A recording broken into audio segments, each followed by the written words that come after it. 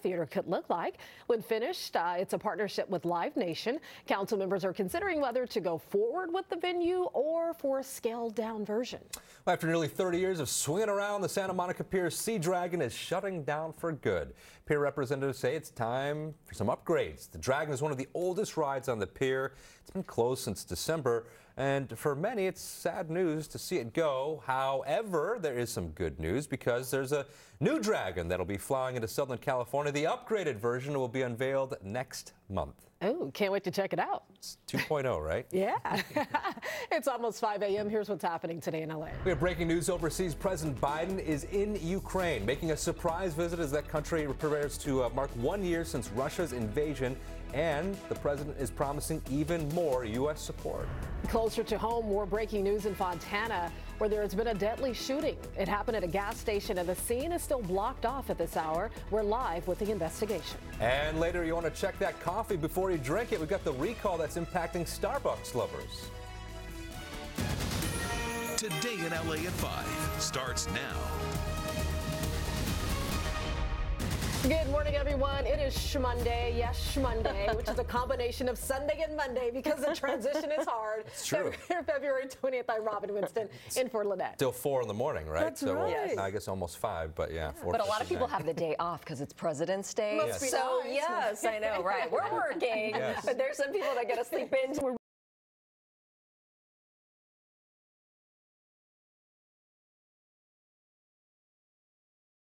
running about 5 degrees warmer and Anaheim.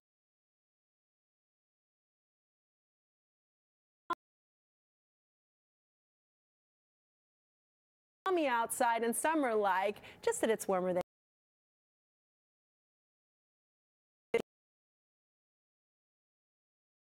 season. So a chilly start for some, but this afternoon the temperatures are going to be near seasonal for this time of year. So here's your Monday forecast. We're going to have rays for days with some spots hitting the 70s. The coast will have 65, the basin, Orange County 69. Put on the sunscreen, bring the sunglasses when you leave the house. Sunrise will be happening at 632. The valleys will have temperatures at 71 with just a few passing clouds. I'll take you over to the Inland Empire. 71 is your forecast. In the deserts, it'll be a little breezy this afternoon, but nothing to write home about. 67 and in the mountains mountains, 47 degrees. Now, after today, the temperatures will tumble and we're going to have rain and snow later this week. I'll be back to time it out for you. Right now, let's check on the roads. Um, holiday light, right, Holly? Holiday light in most areas, Belen. However, we do have a couple accidents that are causing delays on the roads. One of those in the Whittier area. I've been following this crash since 4 a.m. on the South 605. At the time I mentioned the wreck, they were temporarily holding all lanes. Right now, the two left lanes are open open. Minimal slowing as you make your way towards the 110 and the uh, 605.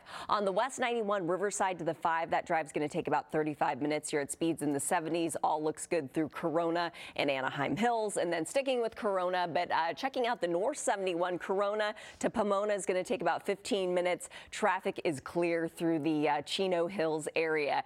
Coming up, we will head back to the Burbank area and check out a wreck on the West 134. Adrian Robin, back to you. All right. Thank you, Holly. 502 right now. We have breaking news in an unprecedented show of solidarity for Ukraine. President Biden made a surprise visit to the war-torn country. He appeared with Ukrainian President Volodymyr Zelensky to reaffirm America's support. NBC4's Michelle Baez is live in our newsroom with details of this historic visit. Michelle. First on many levels, good morning. President Biden's surprise visit to Kiev comes at a critical time and reiterates his administration's support for Ukraine as Russia's full-scale war on the country nears its its one year anniversary.